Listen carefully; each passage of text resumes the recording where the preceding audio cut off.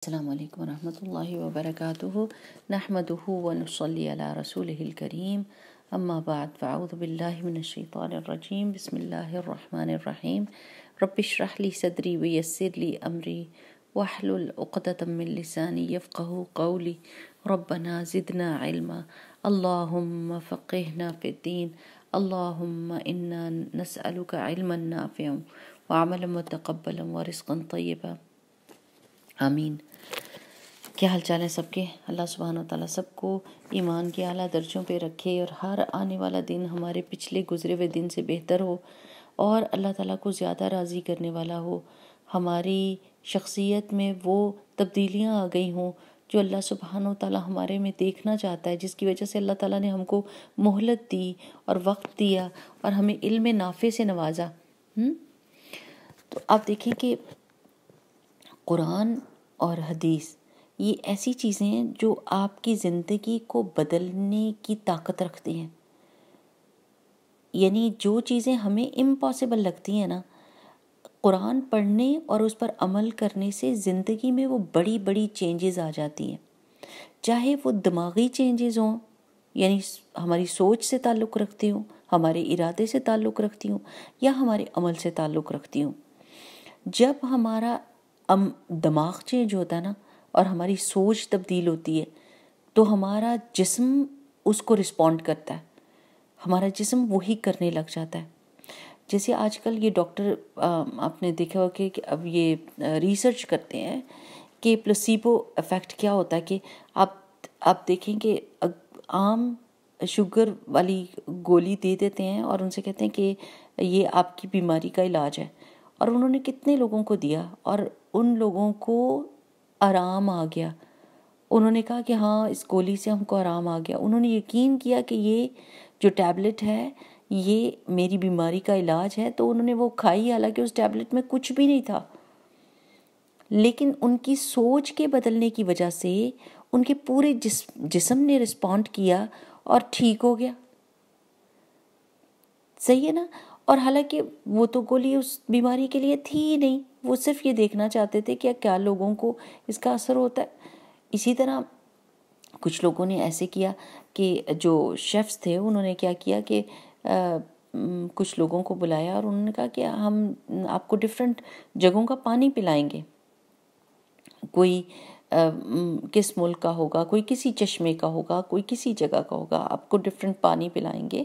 اور آپ بیٹھے اور آپ بتائیں کہ اس پانی کا ذائقہ کیا فرق ہے، اس میں کیا آپ کو فرق لگا؟ اور سب پانیوں پہ نام لکھ دیے کہ یہ اس جگہ کا پانی ہے، یہ اس چشم، چشمے کا پانی اور اب یہ پئیں اور کہیں واہ یہ پانی تو بڑا اس طرح کا ٹیسٹ کا ہے، اس میں فریشنس ہے، اس میں یہ ہے، اس میں وہ ہے اور وہ اندر دکھا رہے ہیں، وہ ٹیپ واٹر، کوئی پانی فریج کا پانی، کوئی کس کا پانی۔ فرق فرق پانی اندر سے ہی وہ دے رہے تھے۔ لیکن جب آپ سوچنے لگ جاتے ہیں نا ڈفرینٹلی تو پھر آپ محسوس کرنے لگ جاتے ہیں، پھر آپ کا جسم اس چیز کو ویسے ہی ایکسیپٹ کرتا ہے۔ ہم؟ تو اب آپ یہ دیکھیں کہ اس کا مطلب ہے کہ ہم، ہماری سوچ بدلنے کی بات ہے۔ اس وقت مسلمانوں کا ڈاؤن فال کس لیے جا رہا ہے کہ سوچ ہی بڑی نہیں ہے۔ اللہ تعالیٰ پہ توکل ہی نہیں ہے اور کوشش ہی نہیں کی جا رہی اور اس بات کا یقین ہی نہیں کیا جا رہا کہ اللہ تعالیٰ ہم کو اوپر لا سکتا ہے۔ ناود باللہ۔ اللہ تعالیٰ میں یہ طاقت ہے۔ دیکھیں، ہم صورت المجادلہ پڑھ رہے تھے نا، اور اس میں تھا کہ منافقین جو نا نجوا کرتے تھے، سرگوشیاں کرتے تھے، جس سے مسلمانوں کو تکلیف ہوتی تھی۔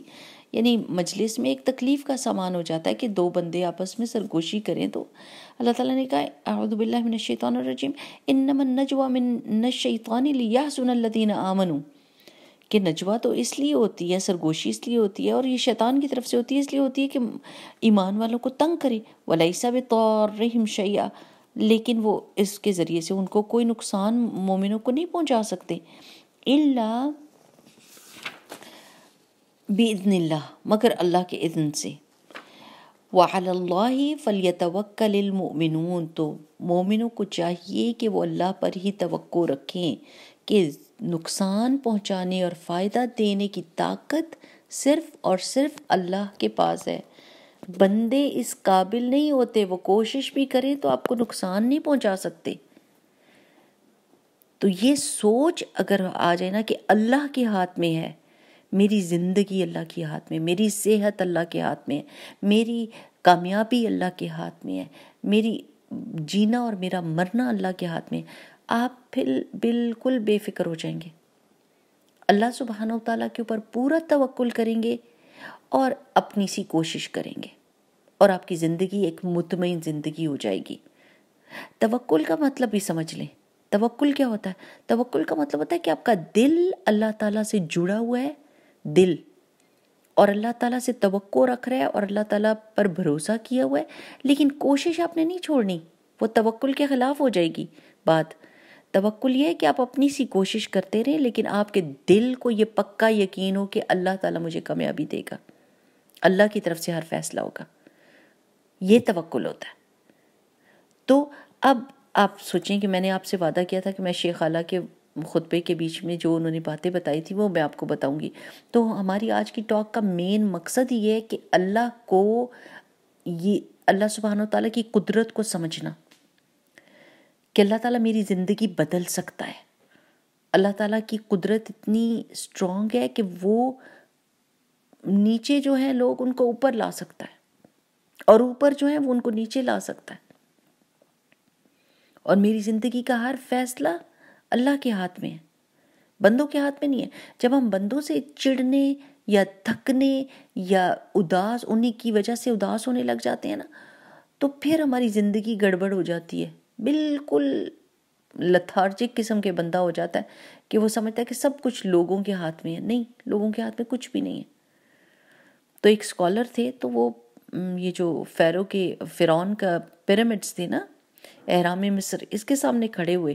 اور انہوں نے کہا کہ اللہ سبحانہ و تعالی کا فیصلہ ثابت ہو کے رہتا ہے۔ اے فرعون تو نے چاہا کہ تو اس بچے کی خاطر جس بچے نے تیری سلطنت کو ختم کرنا تھا تو نے اس کی خاطر لاکھوں بچے مار دیے لیکن اللہ کا حکم ثابت ہو کے رہا وہ بچہ تیرے ہی گھر میں پلا جس بچے کی خاطر اس نے لاکھوں بچے مارے اللہ تعالیٰ کا فیصلہ ہو کے رہنا تھا کہ اس بچے نے بڑا ہونا تھا وہ بچہ فرعون کے گھر میں اللہ تعالیٰ نے پلوایا لاڈ کے ساتھ محبت کے ساتھ عیش کے ساتھ کر لو جو کرنا ہے۔ سبحان اللہ۔ کیا شان ہے۔ ایسے دل روب نہیں محسوس کرتا اللہ تعالیٰ کا۔ اور یہ کہ ان سکولر نے کہا کہ اے فرعون، کہ دل تو اللہ کے ہاتھ میں ہے۔ دل سبحانہ تعالیٰ، اللہ سبحانہ تعالیٰ کے ہاتھ میں تو نے ایک ماں کے دل کو توڑا۔ یعنی ان کے بچے کو چھیننے کی کوشش کی، ماؤں کے دلوں کو توڑا، بچے چھیننے کی کوشش کی۔ اللہ تعالیٰ نے موسیٰ کو، علیہ السلام کو ایک ماں کی جگہ دو مائیں دے دی تو نے ان کو ماں سے محروم کرنے کی کوشش کی، اللہ تعالیٰ نے موسیٰ علیہ السلام کو دو مائیں دے دی۔ ایک تو ان کی اپنی ماں اور ایک تیرے گھر میں تیری اپنی بیوی۔ کہ انہوں نے کہا، یہ ہماری آنکھوں کی ٹھنڈک بنے گا۔ اس ماں کا بھی دل، وہ جو ان فرعون کے اپنے گھر میں عورت تھی، حضرت آسیہ علیہ السلام، ان کی دل کو بھی نرم کر دیا موسیٰ علیہ السلام کے لیے۔ تو دل اللہ کے ہاتھ میں ہوتے ہیں۔ اور یہ کہ ہر بندہ اپنے گناہ کا خود ذمہ دار ہے کہ جب تو یعنی تو کیا کر رہا تھا اے فرعون؟ اور تیرے گھر میں دوسرے کمرے میں آسیہ علیہ السلام کیا کر رہی تھی؟ کہ جب تو نے کہا، انا ربکم العالی کہ میں سب سے بڑا رب ہوں، تو دوسرے ہی کمرے میں حضرت آسیہ سجدے میں کیا کہہ رہی تھی؟ سبحان ربی العالی یعنی ہر بندہ اپنا راستہ خود چنتا ہے، ایک ہی چھت کے نیچے رہ کے تو نے اپنے آپ کو انا ربکم العالی کہا اور اسی چھت کے نیچے ایک دوسری جگہ پہ ایک دوسرا بندہ سجدے میں سبحان ربی العلیٰ کہہ رہا تھا۔ اور یہ کہ مومن کو کوئی طاقت نہیں ڈرا سکتی۔ جب اس کے دل میں اللہ کی محبت ہو اور اس پہ توکل ہو۔ کیا کر لیا تو نے جادوگروں کا؟ جب انہوں نے سجدے میں اپنا سر رکھ دیا۔ تو ان کو کس چیز کا ڈر رہ گیا؟ تیری بڑے بڑے، تیرے ظلموں کا ڈر نہیں رہا، تیری آرمیز کا ڈر نہیں رہا۔ ایک دم ان کو کیا ہوا؟ اللہ سے محبت ہوگی اور اللہ ہی کا ڈر کافی ہوگا ان کے لیے۔ اور یہ کہ خون کی ایک طاقت ہوتی ہے۔ خون کی ایک طاقت ہوتی ہے۔ جس کی وجہ سے ایک بہن نے اتنی مشکل وقت تھا وہ کہ اپنے بھائی کو محل میں سے بچا کر اپنی ماں کے پاس پلٹا دیا۔ ایک چھوٹی سی نازک لڑکی نے جا کے ایسی تدبیر کی کہ موسیٰ علیہ السلام واپس پلٹ کے اپنی ماں کے پاس آگے اپنی فیڈ لینے کے لیے۔ اور یہ کہ ایک بھائی نے اپنے بھائی کے لیے دعا کی۔ موسیٰ علیہ السلام نے بڑے ہو کے کیا کہا تھا؟ اللہ تعالیٰ ہارون جو ہے وہ میرے سے بھی زیادہ اچھی بات کرتے ہیں، ان کو میرا مددگار بنا دے۔ تو خون خون ہی ہوتا ہے۔ وہ ہر جگہ پر اپنا اثر دکھاتا ہے، اپنی محبت کا اثر دکھاتا ہے۔ اور کوئی بھی انسان کو غلام نہیں بنا سکتا۔ جب تک کہ انسان خود کسی کو اپنا ماسٹر نہیں بنا لیتا۔ اگر بنی اسرائیل فرعون کو طاقت نہ بخشتے اور اپنے آپ کو غلام نہ سمجھتے، تو ہو نہیں سکتا تھا کہ فرعون ان کا ماسٹر بن جاتا اور ان کا مالک بن کے ان کے اوپر بیٹھتا۔ اور یہ دیکھو کہ اللہ سبحانہ و تعالیٰ نے ایک دریا جو ہے وہ ڈبا دیتا ہے ہر چیز کو۔ ہلکی سی، کوئی ایسی ذرا سی بھاری چیز ہو تو اس کو ڈبا دیتا ہے۔ لیکن اللہ نے اسی دریا کو ڈیلیوری کا ذریعہ بنایا کہ اس ڈیلیوری کو کہاں پہنچایا؟ موسیٰ علیہ السلام کو ڈبے میں ڈالا، ٹوکری میں ڈالا، تو وہ ڈبہ کہاں جا کے رکا؟ آسیہ علیہ السلام کے پاس۔ اللہ تعالیٰ نے ڈیلیور کر دیا اس بیبی کو ادھر سے اٹھا کے ادھر۔ اور جس وقت اللہ تعالیٰ نے اسی پانی کو، ویسا ہی پانی تھا جب اس کو کہا کہ فرعون کو ڈباؤ تو فرعون اور اس کی ساری آرمی ڈوب گئی۔ یہ اللہ تعالیٰ کے لشکر ہیں جو اللہ تعالیٰ جیسے چاہتا ہے، جس وقت چاہتا ہے ان کو استعمال کرتا ہے۔ کہ ایک وقت میں پانی نے موسیٰ علیہ السلام کو بالکل ہارم نہیں دیا اور اسی پانی نے فرعون کو ڈبا کے چھوڑ دیا۔ اور یہ کہ جب اللہ تعالیٰ اپنی دنیا میں جو اللہ تعالیٰ کی مخلوق ہے، اس سے کام لینے لگتا ہے، تو ایک لاٹھی بھی اس قابل ہو جاتی ہے کہ اس کو مارا جائے تو اتنے بڑے سمندر میں راستہ بنا دے۔ ہم، ایک لاٹھی کیا حیثیت ہے؟ لیکن اللہ تعالیٰ اس کو یہ طاقت دیتا ہے اور کہتا ہے کہ لاٹھی مارو۔ موسیٰ علیہ السلام کو تو موسیٰ علیہ السلام کرتے ہیں۔ تو اس لاٹھی کی وجہ سے وہ جگہ پاٹ جاتی ہے۔ تو اللہ تعالیٰ ہے کہ کس چیز کو کس وقت میں طاقت دے دے۔ ہم، کس چیز سے کس وقت میں وہ طاقت چھین لے؟ یہ اللہ تعالیٰ کے پاس ہے۔ تو جو لوگ اپنی زندگیوں سے مایوس ہوتے ہیں، ان باتوں میں کتنا بڑا پیغام ہے کہ اللہ تعالیٰ کی طاقت اور قدرت پہ کتنا یقین کرنا چاہیے۔ کیوں نہ بندہ کہے کہ اللہ میں تیرا فرما بردار ہوں، تو میری زندگی آسان کر دے۔ اللہ تو نے اس طریقے سے فتح دی، تو مجھے ٹھیک کر دے، مجھے صحت تندرستی دے دے، میری زندگی میں بھی خوشیاں ڈال دے، مجھے مشکلوں اور مصیبتوں سے نکال۔ لیکن مین پوائنٹ جو ہے نا، وہ کیا ہے؟ ایمان۔ ایمان کو اسٹرانگ کریں گے تو آپ کی باڈی اسٹرانگ ہو جائے گی۔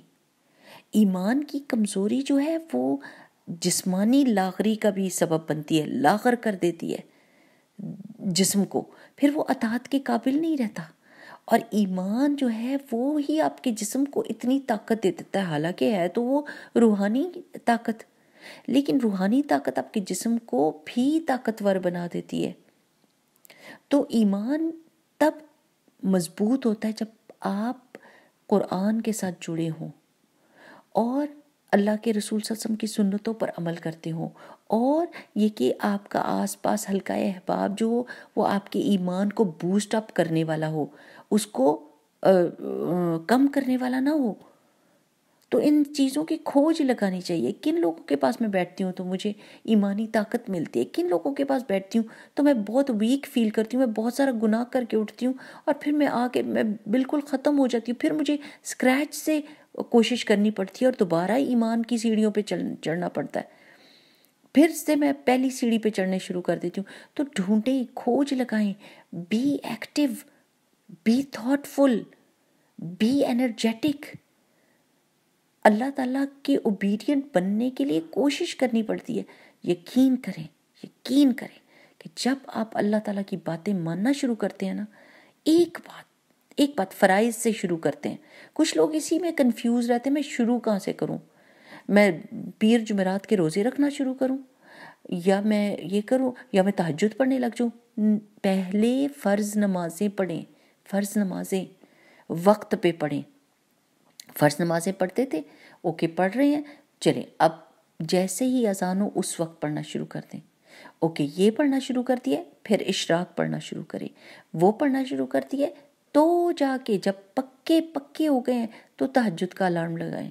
اللہ تعالیٰ سے دعا کریں کہ اللہ مجھے تحجد کی توفیق دے، اللہ میں اس وقت اٹھوں، میں تیرے ساتھ باتیں کرنا چاہتی ہوں، اللہ سبحانہ تعالیٰ میں دعائیں کرنا چاہتی ہوں، میں فیل کرنا چاہتی ہوں، اس وقت میں کیا مزہ ہے، کیا خوبصورتی ہے، کیا مٹھاس ہے کہ جس کی اتنی فضیلت بتائی گئی ہے، لیکن اس سیڑھی پہ تب چڑھیں گے جب پانچ نمازوں کی سیڑھی پوری کر چکے ہوں گے۔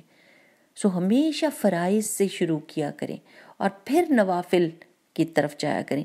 اللہ سبحانہ تعالیٰ فرماتے ہیں کہ میرا بندہ میری قربت اختیار کرتا ہے، میری رضا اختیار کرتا ہے کس طرح سے فرائض کرنے کے بعد۔ اور پھر میرے بہت قریب ہو جاتا ہے نوافل کے ذریعے سے۔ تو سب سے پہلے تو بات ماننی ہوتی ہے نا، میں ہمیشہ یہ دیتی ہوں اس کو کیا کہتے ہیں مثال کہ ایک نوکر آپ رکھے نا اور اس سے کہ تم نے کچن صاف کرنا ہے، تمہاری یہ ذمہ داری ہے اور آپ اگر ہر روز اٹھیں اور کبھی اس نے آپ کے کپڑے استری کر دی ہوں، لیکن کچن نہ صاف کیا ہو۔ پھر آپ کے پورے گھر کی جھاڑ پونچھ کر دی ہو، لیکن کچن نہ صاف کیا ہو۔ پھر آپ اٹھیں تو اس نے آپ کا لان صحیح کر دیا ہو، لیکن کچن نہ صاف کیا۔ ہو تو آپ کیا کہیں گے؟ آپ کہیں گے، آؤٹ، باہر نکلو۔ کیوں؟ وہ کہے گا، میں نے اتنے اچھے کام تو کیے ہیں۔ آپ کہیں گے، جب میں نے رکھا ہی تمہیں کچن صاف کرنے کے لیے، ادھر مکھیاں بن، بنا رہی ہیں اور مچھر بن رہے ہیں، میں نے تو تمہیں تمہارا فرض کیا تھا کہ تم نے کچن صاف کرنا تھا۔ اس کے بعد اگر تم گھر صاف کرتے، اس کے بعد اگر تم کپڑے استری کرتے، اس کے بعد اگر تم لان صاف کرتے تو مجھے اچھا لگتا۔ لیکن تم نے اپنا فرض ہی نہیں پورا کیا، تو اس لیے مجھے کسی چیز کی ضرورت نہیں، باہر نکل جاؤ۔ بس اتنی سی مثال کو سمجھ لیں کہ ہم پر جو فرائض ہیں، نماز پڑھنا ہمارے پہ فرض ہے۔ وہ کر کے پھر نوافل کی طرف آئیں گے تو اللہ سبحانہ تعالیٰ آپ سے راضی ہوگا۔ فرض چھوڑ کے اگر ہم نفل کریں گے تو پھر رضامندی نہیں نہ حاصل ہوتی۔ پھر وہ بھی نہیں قبول ہونے کے وہ ہوتے نا۔